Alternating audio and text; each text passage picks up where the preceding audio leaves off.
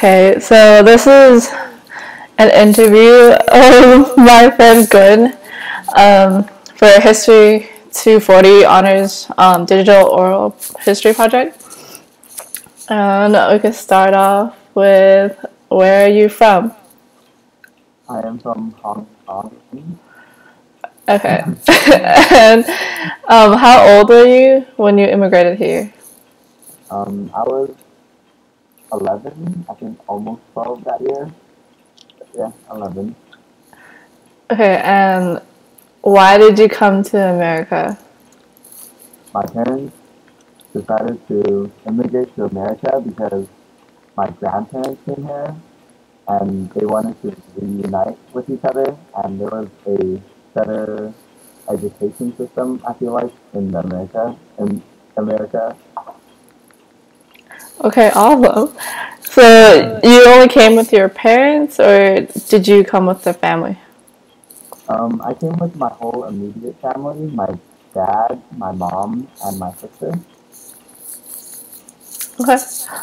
And what was the what was it like to transition from your past country to your new one?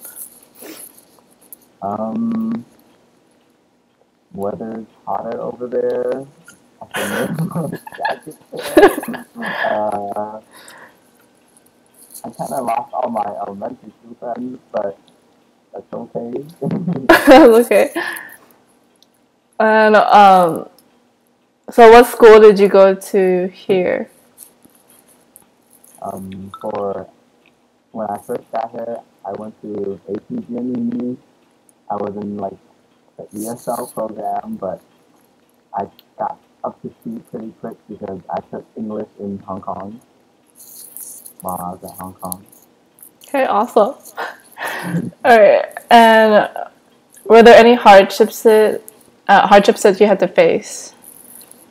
Um, nothing too drastic, like discrimination. There wasn't much of that because my school pretty much had all, like, majority Chinese or Asian ethnic background, so everyone was good in terms of that.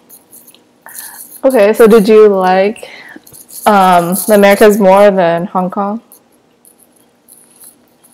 Uh, I, I, I would say yes, but I miss Hong Kong because of all the food, and I have a lot of my family members there still. My whole dad's side.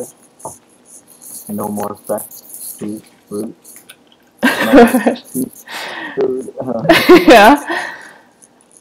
So is it a lot different from when you were in Hong Kong and living in San Francisco? Um, not not too much of a difference. If if you're talking about just friendship, but I guess everyone here is more polite. Hong Kong, everyone's gonna cut you out if you wrong them. okay. Okay. Um, okay. So did you have any um, changes to your religious practices, or did you change, um, or did you stick with your religion from when you were in Hong Kong till now? Uh, honestly, I don't think I had a, an actual religion that I believed in. Um, occasionally, my family like went to temples to pray, but I don't think we were doing it for religious purposes, but more to pray for our health and education, stuff like that. Okay, great. And was it hard to get any jobs, or did you have to do anything um, in particular just to get a certain job? Um, not really, because actually learning English wasn't hard, so being multilingual made it easier getting a job. Because I could cater to the Chinese speakers and the English speakers. Okay. And were you more comfortable with the Chinese speakers or like the English speakers? Um,